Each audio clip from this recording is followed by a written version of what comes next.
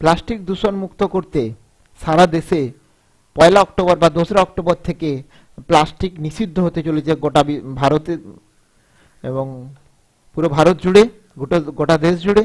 তো সেই নিয়েই একটি অভিনব প্রয়াস বিভিন্ন ক্ষেত্রে দেখা যাচ্ছে আমাদের প্লাস্টিক দূষণ নিয়ন্ত্রণ করার জন্য। তো সেই নিয়ে আমি একটা খবর নিয়ে আসছি বা সকলের মধ্যে একটা খবর শেয়ার করছি। বলছে, প্লাস্টিক মুক্ত ভারত গড়ার ডাক মোদির।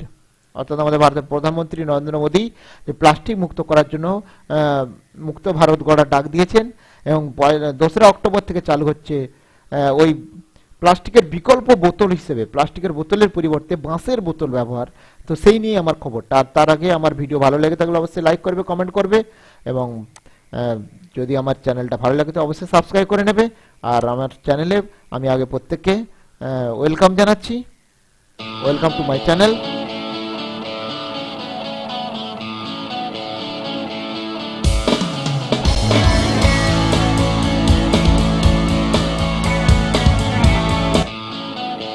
ভালো লাগলে অবশ্যই সাবস্ক্রাইব করবে আমার চ্যানেল ভূগোল সম্বন্ধে খবর পেতে।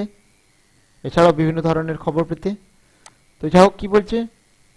দেখা যাক এখানে কি বলতে চাইছে। বলছে, প্লাস্টিক মুক্ত দেশ গড়ার ডাক দিয়েছে নরেন্দ্র মোদী। ইতিমধ্যে প্লাস্টিক পণ্যের ওপর লাগাম টেনেছে কেন্দ্র। আরও এক ধাপ এগিয়ে এবার প্লাস্টিকের বোতলের বাঁশের বদলে, প্লাস্টিকের বোতলের বদলে বাঁশের বোতল ব্যবহারের উপর জোর দিচ্ছে মোদী সরকার। বলছে, ক্ষমতায় আসার পর স্বচ্ছ ভারত ক্ষমতায় আসার পর স্বচ্ছ ভারত কর্মসূচির সূচনা করেন নরেন্দ্র মোদী। এবার দোসরা অক্টোবর এই কর্মসূচিকে পরের ধাপে নিয়ে যেতেই নিয়ে যেতে চাইছে কেন্দ্র। এই যে বোতলটা ছবিটা অনেকটা এইরকম টাইপের আসবে। গান্ধী জয়ন্তীতে বাজারে আসতে চলেছে বাঁশের বোতল। বাঁশ দিয়ে তৈরি পুরোপুরি এটা। তোমরা দেখে নাও এই ছবিটা। বাঁশের বোতল আনার ভাবনা, নেপথ্যে রয়েছে ক্ষুদ্র ও ছোট শিল্পীর ছোট্ট শিল্পের অন্তর্গত খাদি গ্রামোদ্যোগ।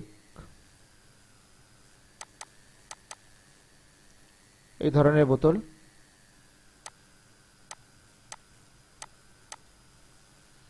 যাই হোক, এই হচ্ছে ছোট্ট খবর। প্লাস্টিকের বোতলের বিকল্প হিসেবে এই রকম বাঁশের তৈরি বোতল।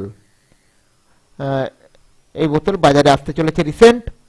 এটা খুবই ভালো খবর এবং আমাদের কাছে খুবই উদ্বেগজনক খবর একটা।